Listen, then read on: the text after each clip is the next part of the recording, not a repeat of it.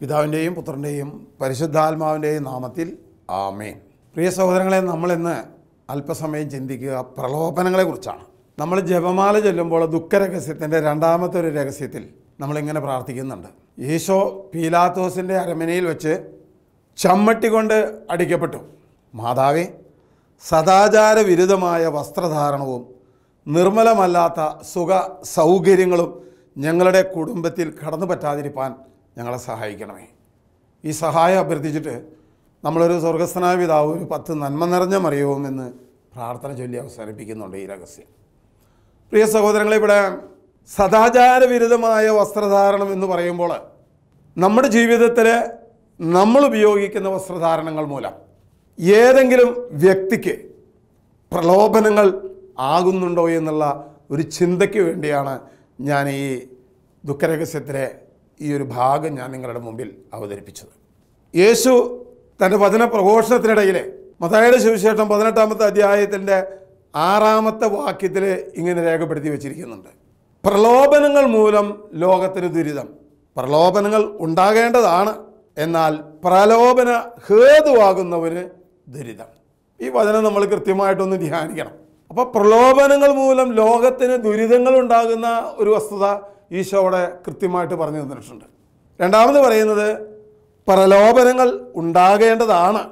ഒരു വ്യക്തിക്ക് ഒരു പ്രലോഭനങ്ങൾ ഉണ്ടാകുമ്പോഴാണ് വിശ്വാസിയായ ഒരു മനുഷ്യൻ ഈ പ്രലോഭനത്തിനെ അതിജീവിക്കുവാനുള്ള ശക്തി അവൻ നേടിയിട്ടുണ്ടോ? അത് പ്രലോഭനങ്ങൾ ഉണ്ടാകുമ്പോൾ മാത്രമാണ് അതിനെക്കുറിച്ച് നമുക്കൊരു ഉറപ്പ് ലഭിക്കുന്നത്. ജീവിതത്തിൽ പ്രലോഭനങ്ങൾ ഉണ്ടാകാം. ഈ പ്രലോഭനങ്ങൾ ഉണ്ടാകുമ്പോൾ നമ്മൾ അതിൽ വീണു പോകുന്നുണ്ടോ വീഴാതെ നിൽക്കുന്നുവെങ്കിൽ തീർച്ചയായിട്ടും ആ പ്രലോഭനത്തിനെ അതിജീവിക്കാനുള്ള ശക്തി ദൈവത്തിൽ നിന്ന് നമ്മൾ സ്വീകരിച്ചിട്ടുണ്ട് എന്ന് നമുക്ക് ഓർമ്മിക്കാം മൂന്നാമതായി പറയുന്നത് പ്രലോഭന ഹേതുവാകുന്നവന് ദുരിതമുണ്ടാകുമെന്നാണ് ഇവിടെയാണ് നമ്മുടെ യഥാർത്ഥ ചിന്ത ധ്യാനം ആവശ്യമായിരിക്കുന്നത്. ഞാൻ മൂലം മറ്റൊരു വ്യക്തിക്ക് പ്രലോഭനങ്ങൾ ഉണ്ടാകുക. എന്റെ ജീവിതത്തിലെ നല്ല രീതിയിലല്ലാത്ത വസ്ത്രധാരണം മൂലം മറയ്ക്കപ്പെടേണ്ട ശരീര അവയവങ്ങളെ വളരെ വ്യക്തമായി തുറന്നു കാണിക്കുന്ന രൂപത്തിലുള്ള വസ്ത്രധാരണം ഞാൻ നടത്തുമ്പോൾ ഈ രൂപത്തിൽ എന്നെ കാണുന്ന മറ്റൊരു വ്യക്തി അത് കണ്ടുകൊണ്ട് പ്രലോഭനം അവനുണ്ടാകുന്നുവെങ്കിൽ തീർച്ചയായിട്ടും ആ വ്യക്തിക്കുണ്ടാകുന്ന പ്രലോഭനത്തിന്റെ കാരണം നീയാണ്.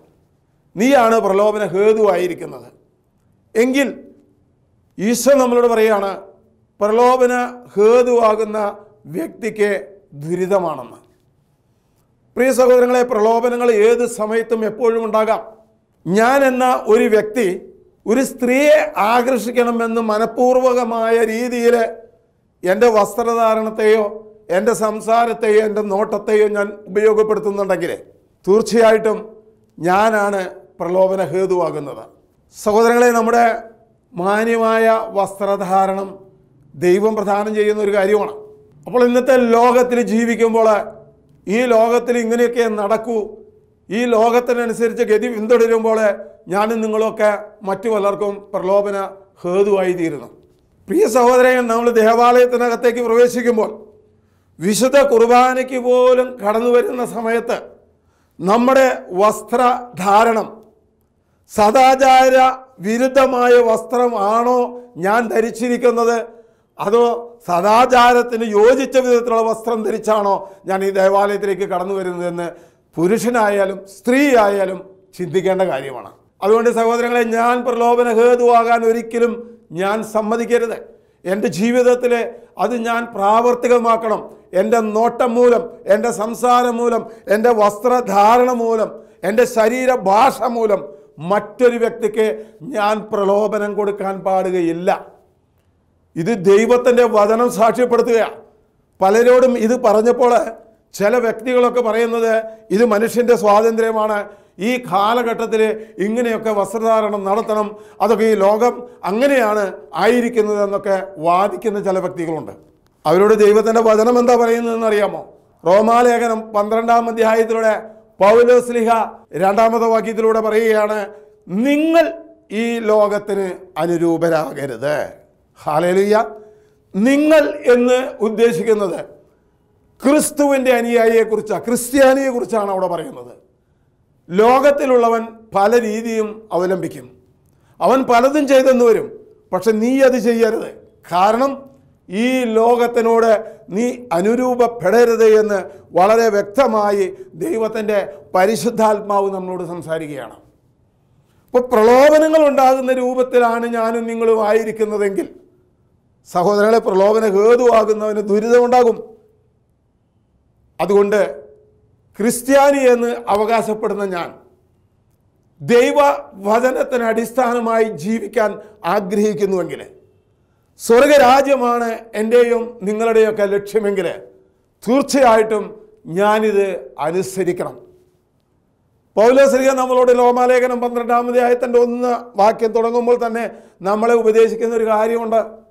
നിങ്ങളുടെ ശരീരങ്ങളെ നിങ്ങൾ നിർമ്മലമായി കാത്തു സൂക്ഷിക്കണം. ഇതായിരിക്കണം നിങ്ങളുടെ യഥാർത്ഥ ബലി എന്നാണ് പറയുന്നത്. ഇപ്പം ശരീരം നമ്മുടെ ജീവിതത്തിലെ വളരെ പ്രാധാന്യമേറിയ ഒരു സാധനമാണ് ശരീരം. ശരീരം കൊണ്ട് നമ്മൾ പാപം ചെയ്യുന്നുണ്ടോ? അത് നമ്മൾ ചിന്തിച്ച് തീരുമാനിച്ച് നമ്മുടെ ജീവിതത്തെ ക്രമീകരിച്ചില്ലെങ്കിൽ വേറെ കുഴപ്പമൊന്നുമില്ല. ഈ ലോകത്തിന്റെ വാദമുഖങ്ങൾക്ക് മുമ്പ് ഒരു പക്ഷേ ഈ ഒരു വചനം ഈ ഒരു ആശയം തോറ്റുപോകുമായിരിക്കും. പക്ഷേ സ്വർഗരാജ്യം ലക്ഷ്യം വെച്ച് ജീവിക്കുന്ന ക്രിസ്ത്യാനി അനുസരിക്കേണ്ട ഒരു കാര്യമായത് നിങ്ങൾ ഈ ലോകത്തോട് അനുരൂപരാകരുത്. പ്രിയ സഹോദരങ്ങളെ ഈ പ്രലോഭനത്തിന്റെ ദുരിതം എവിടെ ചെന്ന് എത്തിക്കുമെന്ന് നിങ്ങൾക്കറിയാം. നമ്മൾ രണ്ട് സാമുവേലിന്റെ പുസ്തകം വായിക്കുമ്പോൾ അതിലെ പതിനൊന്നാമത്തെ അധ്യായത്തിലെ രണ്ട് കഥാപാത്രങ്ങളാണ് അവിടെ കടന്നു വരുന്നത് ഒന്ന് ദാവീദ. ദാവീദ് ശത്രു സൈന്യവുമായിട്ട് യുദ്ധത്തിൽ ഏർപ്പെട്ടുകൊണ്ടിരിക്കുകയാണ് പടയാളികൾ. ദാവീദ് രാജാവട്ടെ തന്റെ സ്വന്തം ഭവനത്തിൽ ഉറക്കമുണർന്ന് അദ്ദേഹം മട്ടുപ്പാവിയിൽ നിന്ന് ലാത്തിക്കൊണ്ടിരിക്കുന്ന സമയത്ത് അപ്പുറത്ത് കുളിച്ചുകൊണ്ടിരിക്കുന്ന ഒരു യുവതിയെ ബർഷഭയ എന്ന യുവതിയെ കാണുകയാണ്. സാധാരണഗതിയിൽ മനുഷ്യൻ അത്തരമൊരു സാഹചര്യം കണ്ടു കഴിഞ്ഞാൽ മാന്യമായ ഒരു വ്യക്തിയായിരുന്നുവെങ്കിൽ അദ്ദേഹം കണ്ണുകളെ മാറ്റി അല്ലെങ്കിൽ ആ സന്ദർഭത്തിൽ നിന്ന് മാറിപ്പോകും. കാണുന്നതും നോക്കുന്നതും തമ്മിൽ വളരെ വ്യത്യാസമുണ്ട് ഒറ്റ നോട്ടത്തിൽ കാണുക നോക്കുക എന്ന് പറയുന്നത് ഒന്നായി തോന്നാം. പക്ഷെ കാണുന്നതും നോക്കുന്നതിനും വ്യത്യാസമുണ്ട് ദാവിദ് രാജാവ് ബത്സവ എന്ന സുന്ദരിയായ സ്ത്രീ കുളിക്കുന്നത് കണ്ടപ്പോൾ അദ്ദേഹത്തിന് വീണ്ടും നോക്കാൻ തോന്നി. പ്രലോഭനമുണ്ടായി. അദ്ദേഹത്തിന് അവളെ പ്രാപിക്കണമെന്ന് തോന്നി. ദാവിദ് രാജാവ് തന്റെ സ്ഥാനമാനങ്ങൾ ദുരുപയോഗപ്പെടുത്തിക്കൊണ്ട് ആ അധികാരം ഉപയോഗിച്ചുകൊണ്ട് അവളെക്കുറിച്ച് അന്വേഷിച്ചു. അവളെ തന്റെ സ്വന്തം കിടപ്പറയിലേക്ക് കൂട്ടിക്കൊണ്ടുവരുവാനായിട്ട് ആളയച്ചു. ദർശഭ വന്നു. നിഷേധിക്കാൻ കഴിയില്ല. രാജാവാണ് പറയുന്നത്. അങ്ങനെ ദാവീദ് രാജാവ് ബത്സവയുമായി വ്യഭിചാരം ചെയ്തു. അതിന്റെ അനന്തര ഫലങ്ങൾ വളരെ വലുതായിരുന്നു. അവൾ ഗർഭിണിയായി.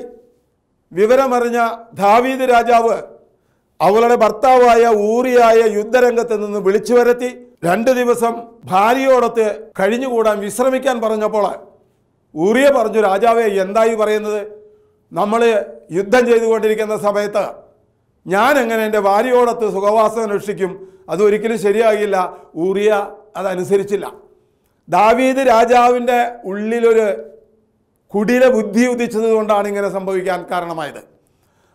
ഊറിയ ബർഷബയോടുകൂടെ രണ്ടോ മൂന്നോ ദിവസം വിശ്രമിച്ച് ജീവിച്ചു കഴിഞ്ഞാൽ അതിനിടയിൽ അവളുമായി ബന്ധപ്പെടുമ്പോൾ ആ രീതിയിലാണ് ബത്സഭ ഗർഭിണിയായത് എന്ന് വരുത്തി തീർക്കാനുള്ള കുടില തന്ത്രമാണ് ഇവിടെ ദാവീദ് ഉപയോഗിച്ചത്. പക്ഷേ അദ്ദേഹത്തിന്റെ ആ പരിശ്രമം വിജയിച്ചില്ല. ഊറിയ യുദ്ധരംഗത്തേക്ക് പോയി. ദാവീദ് പടയാളികളെ വിളിച്ചു പറഞ്ഞു ഇവനെ യുദ്ധരംഗത്തിൽ ഏറ്റവും മൂർച്ചയേറിയ യുദ്ധം നടക്കുന്ന സ്ഥലത്ത് കൊണ്ടു നിർത്തുക അതിനുശേഷം നിങ്ങൾ പിൻവാങ്ങുക. അങ്ങനെ ഈ പാവ ഊറിയ ചതി മനസ്സിലാക്കാതെ യുദ്ധരംഗത്തേക്ക് കടന്നു ചെന്നു ശത്രുവിന്റെ വെട്ടേറ്റ് ആ ഊറിയ മരിക്കാനിടയായി. അതിനുശേഷം ഈ ദാവീദ് രാജാവ് ബത്സഭയെ സ്വന്തമാക്കി എന്നുള്ള ചരിത്രമാണ് പിന്നീട് നമുക്ക് വായിക്കാനായിട്ട് സാധിക്കുക. പ്രിയ സഹോദരങ്ങളെ ഒരൊറ്റ കാര്യമാണ് ഇവിടെ ചിന്തിക്കേണ്ടത്. ഒരു പ്രലോഭനമുണ്ടായത് ഒരു കൊലപാതകത്തിൽ വരെ ചെന്ന് അവസാനിച്ചു. അപ്പം അതുകൊണ്ട് ഈശോ നമ്മളോട് പറഞ്ഞത് ഇതാണ് പ്രലോഭനം ഉണ്ടാകേണ്ടതാണ്. അപ്പോഴാണ് പ്രലോഭത്തിന് അതിജീവിക്കാനുള്ള ശക്തി എനിക്കും നിങ്ങൾക്കും ഉണ്ടോ എന്ന് അറിയാനായിട്ട് സാധിക്കുക. അതിനുശേഷം ബത്സഭ തന്റെ സ്വന്തം ജീവിതത്തിലേക്ക് കടന്നു വന്ന രാജാവ് മറ്റൊരുവിന്റെ ഭാര്യയെ അവൻ സ്വന്തമാക്കി ഭാര്യയായി സ്വീകരിച്ചു. നമ്മൾ ഇതിവിടെ അവസാനിപ്പിക്കുക. കാരണം പ്രലോഭനങ്ങൾ ഉണ്ടായി കഴിഞ്ഞാൽ അതിന്റെ ഭവിഷ്യത്ത് വളരെ വലുതാണെന്ന് കാണിക്കാൻ വേണ്ടിയാണ് ഞാനിത് പറഞ്ഞത്. ദൈവത്തിന്റെ വചനം എന്താ പറയുന്നതെന്നറിയാമോ ഒന്ന് കോറിയന്തോസ് ആറാം അധ്യായം അതിന്റെ പതിനെട്ടാമത്തെ വാക്യത്തിൽ പൗലോശ്രീക ആത്മാവിൽ നിറഞ്ഞ് രേഖപ്പെടുത്തിയ വചനങ്ങളാണത് സഹോദരങ്ങളെ വ്യഭിചാരത്തിൽ നിന്ന് നിങ്ങൾ ഓടിയകലുവൻ മറ്റു പാപങ്ങളൊക്കെ ശരീരത്തിന് വെളിയിലാണ് നടക്കുന്നതെങ്കിൽ വ്യഭിചാരം ചെയ്യുന്നവൻ സ്വന്തം ശരീരത്തിന് എതിരായി പാപം ചെയ്യുന്നു. ഹാലലുയ്യ സത്യമിതാണ് വ്യഭിചാരം എന്ന പാപം സ്വന്തം ശരീരത്തിന് എതിരായി ചെയ്യുന്ന പാപമാണ്. നമ്മൾ പത്തൊമ്പതാമത്തെ വാക്യത്തിലേക്ക് തിരിച്ചു ഇറങ്ങി വരുമ്പോൾ അവിടെ വീണ്ടും പൗലോ ശ്രീഹ നമ്മളോട് പറയുന്ന ഒരു സത്യമുണ്ട്. വ്യഭിചാരം ചെയ്ത് പാപം ചെയ്ത് കഴിഞ്ഞാൽ ഉണ്ടാകുന്നത്. എന്താണ് വ്യഭിചാരം ശരീരത്തിനെതിരായി പാപം ചെയ്യുമ്പോൾ ഉണ്ടാകുന്നതെന്ന് പൗലോ ശ്രീഹ അവിടെ വിവരിക്കുകയാണ് പത്തൊമ്പതാമത്തെ വാക്യം. നിങ്ങളിൽ വസിക്കുന്ന ദൈവദത്തമായ പരിശുദ്ധാത്മാവ് വസിക്കുന്ന ഒരു ആലയമാണ് നിങ്ങളുടെ ശരീരമെന്ന് നിങ്ങൾക്കറിഞ്ഞുകൂടെ? റൈസലോട്ട് സഹോദരങ്ങളെ ശരീരത്തിനെതിരായിട്ടുള്ള പാപമാണ് വ്യഭിചാരം. പൗലോസിക തുടർന്ന് പറയുകയാണ് ദൈവദത്തമായ പരിശുദ്ധാത്മാവ് വസിക്കുന്ന ഒരാലയമാണ് നിങ്ങളുടെ ശരീരമെന്ന് നിങ്ങൾക്കറിഞ്ഞുകൂടെ? ആ ശരീരത്തെയാണ് ആ ശരീരത്തിനെതിരെയാണ് ദൈവത്തിന്റെ ആത്മാവ് വസിക്കുന്ന എന്റെ ശരീരത്തെയാണ് ഞാൻ വ്യഭിചാരം മൂലം അശുദ്ധമാക്കി തീർക്കുന്നത് തുടർന്ന് പൗലോസ്ലിക പറയുക നിങ്ങൾ നിങ്ങളുടെ സ്വന്തമല്ല നിങ്ങൾ വിലയ്ക്ക് വാങ്ങപ്പെട്ടവരാ.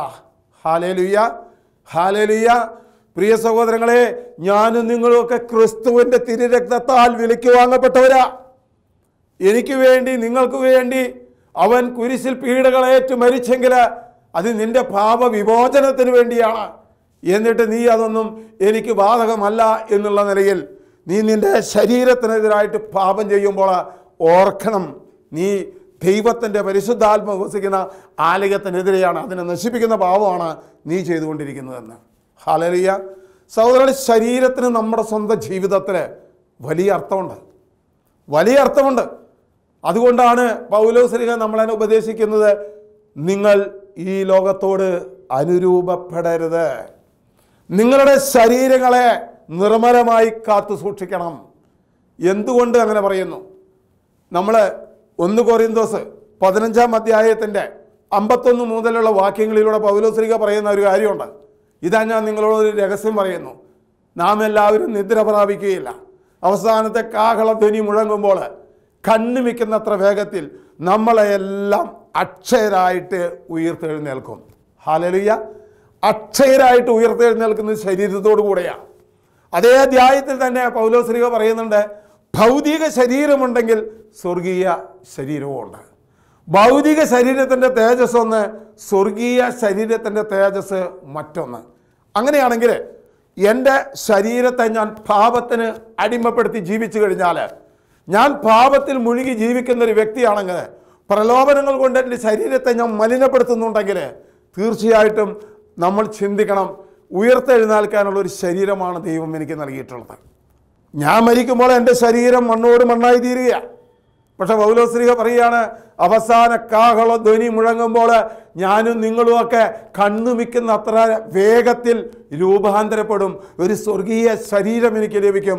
ആ ശരീരം ലഭിക്കണമെങ്കിൽ ഞാൻ എന്റെ ജീവിതത്തിൽ വിശുദ്ധിയോടെ ജീവിച്ച് എന്റെ ശരീരത്തെ ദൈവത്തിന് മഹത്വപ്പെടുത്താനുള്ളതാണെന്ന് ഞാൻ തെളിയിക്കണം. ഇല്ലെങ്കിൽ കർത്താവായ നമ്മളോട് പറയുന്നൊരു വചനമുണ്ട്. യോഹനാന്റെ സുവിശേഷം അഞ്ചാം അധ്യായം ഇരുപത്തെട്ട് ഇരുപത്തൊമ്പത് വാക്യങ്ങളിലൂടെ നമുക്ക് വെളിപ്പെടുത്തുന്നത്. കല്ലറകളിൽ കിടക്കുന്നവരെല്ലാം ആ സ്വരം ശ്രവിക്കുന്ന സമയം വരുന്നു. അപ്പോൾ നന്മ ചെയ്തിട്ടുള്ളവൻ ജീവന്റെ ഉയർപ്പിനായും തിന്മ ചെയ്തിട്ടുള്ളവൻ ശിക്ഷാവിധിയുടെ ഉയർപ്പിനായും പുറത്തു വരും. ഹാലലിയ ഹാലലിയ. നന്മ ചെയ്തവനും തിന്മ ചെയ്തവനും യേശുവിന്റെ രണ്ടാമത്തെ വരവിൽ ആ കാഹള ധ്വനി മുഴങ്ങുമ്പോൾ ഞാനും നിങ്ങളൊക്കെ ശരീരത്തോടു കൂടെ ഉയർത്തെഴുന്നേൽക്കപ്പെടേണ്ടവരാണ്. പക്ഷെ എന്റെ ജീവിതം ഞാൻ മലിനമാക്കി പാപത്തിന് അടിമയാക്കി ഞാൻ ജീവിച്ചിട്ടുണ്ടെങ്കിൽ എനിക്ക് കിട്ടാവുന്നതാണ് തിന്മ ചെയ്ത് ജീവിച്ചിട്ടുള്ളവൻ ശിക്ഷാവധിയുടെ ഉയർപ്പിനായി പുറത്തു വരും.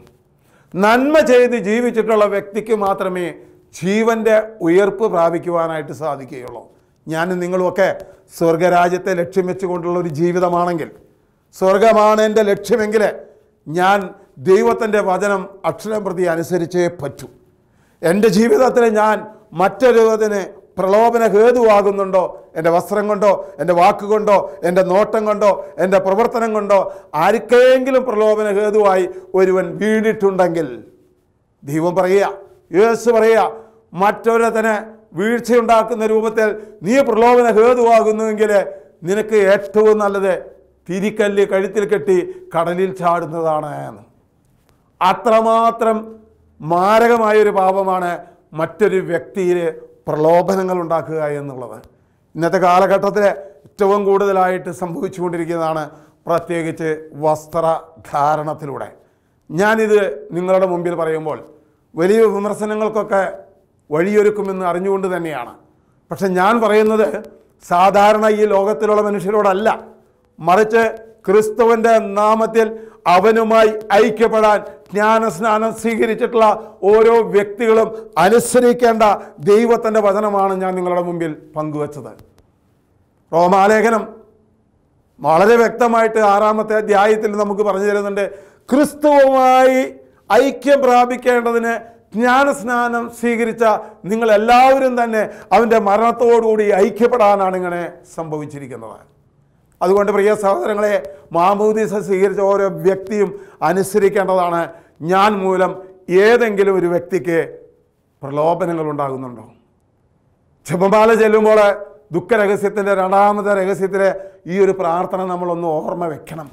മാതാവേ സദാചാര വിരുദ്ധമായ വസ്ത്രധാരണവും നിർമ്മലമല്ലാത്ത സുഖ സൗകര്യങ്ങളും എന്റെ കുടുംബത്തിൽ കടന്നു പറ്റാതിരിപ്പാൻ ഞങ്ങളെ സഹായിക്കണമെന്ന് പറഞ്ഞ് ഓരോ ദിവസവും ജപമാല ചെല്ലുന്ന നാം തന്നെ ആ പ്രാർത്ഥനയോട് ആത്മാർത്ഥത പുലർത്താതെ വിരുദ്ധമായ ജീവിതമാണ് ഞാനും നിങ്ങളും നയിക്കുന്നതെങ്കിൽ സത്യമായിട്ടും എനിക്ക് നിങ്ങൾക്കും കണക്ക് കൊടുക്കേണ്ടി വരും. ഹാലേലുയ്യ പ്രിയ സഹോദരങ്ങളെ ഞാൻ ഇവിടെ നിർത്തുകയാണ്. ഈ വചനത്താൽ നിങ്ങളുടെ അശുദ്ധിയിൽ നിന്ന് പ്രലോഭന ഹേതുവാകുന്ന രീ ജീവിത രീതിയിൽ നിന്ന് നിങ്ങൾക്ക് വിടുതലുണ്ടാകട്ടെ എന്ന് പ്രാർത്ഥിച്ചുകൊണ്ട് പിതാവിന്റെയും പുത്രന്റെയും പരിശുദ്ധാത്മാവിന്റെയും നാമത്തിൽ ആമേ